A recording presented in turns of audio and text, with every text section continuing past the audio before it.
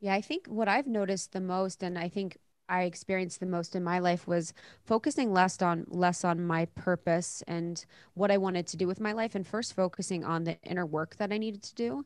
So mm. I was really fierce about my personal work and spiritual work that I had to do and then my purpose really was birthed out of that. It's my expression of me being in alignment. So when we have these people on our shows that have either found their purpose or are talking about it, they're really focused on being the best version of themselves. So that's getting good sleep, nourishing their mm. body, checking in on their relationships, having a spiritual practice, having a personal growth and development practice.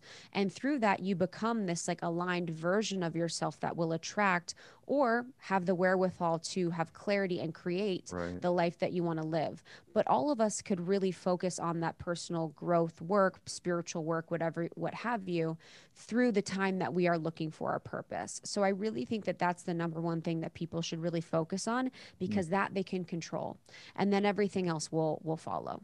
Right. So in a sense, stop looking externally on like everything and, and just work internal Yes. And the things yes. will come into your life for this book. Everything, it. whether it's love, like friendships, yeah. relationships, it's been, you know, for me, I've seen when I do the work, my like this year has been so beautiful to see my friendships, the way that my friendships have evolved as I've done the work on my friendships and the relationships I have with women. When I focused it on relationships is when I found my fiance. When I focused it yeah. on, um, you know, my worth and my power is when I manifested my career. So if we focus on these areas and really becoming our best selves in those, the world will change or show up differently for us. I love that. I remember um, a conversation we had with Angela Manuel Davis, and she she spoke about purpose. We are born on purpose, in purpose, and for purpose. Hmm. And she was speaking more specifically just about you know being created by God, who like you know you are truly born in His likeness and in like in that perfect way. And I think for me, that just really landed because one, I, I do feel like as I evolve, like I kind of feel my purpose showing itself, revealing itself a little bit more. And it it also can evolve and kind of like shift and show me different facets of what it is and what yeah. it wants to become.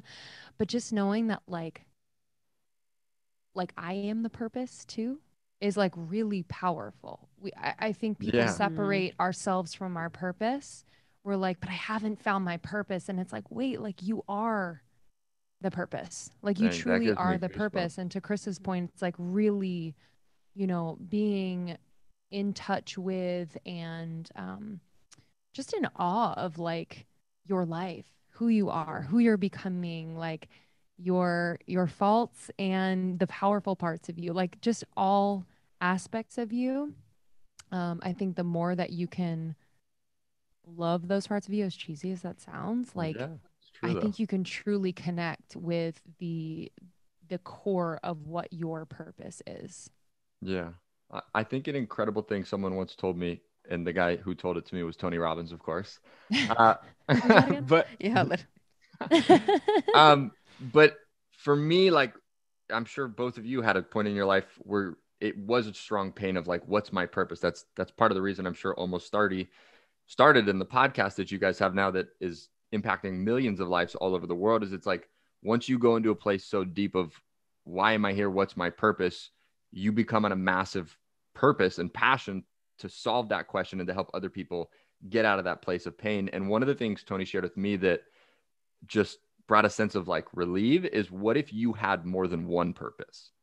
And it's like, what if you could look at your life and maybe your purpose today was to be the best lover that you've ever been to your boyfriend or girlfriend.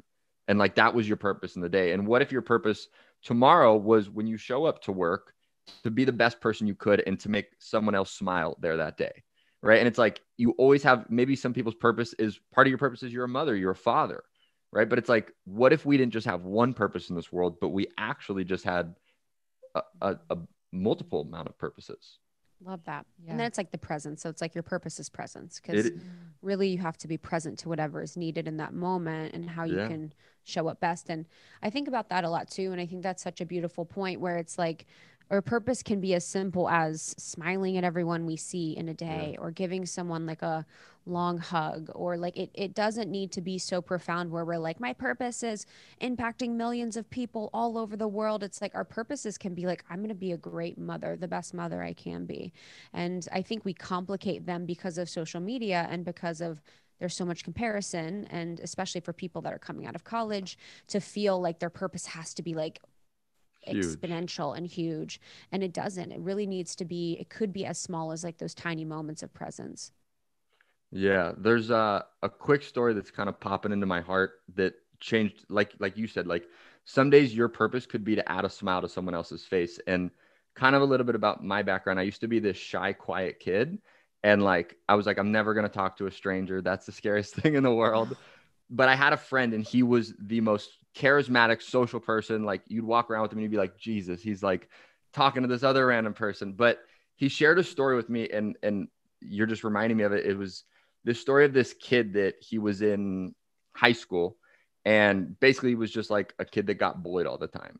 And, you know, every single day he was kind of just like, man, this is like, this sucks. Like, this is my life, but whatever. And so one day he's like walking home, he's got all his books in his hand and he's walking back to his house. And of course, the bullies come, knock the books all over the floor.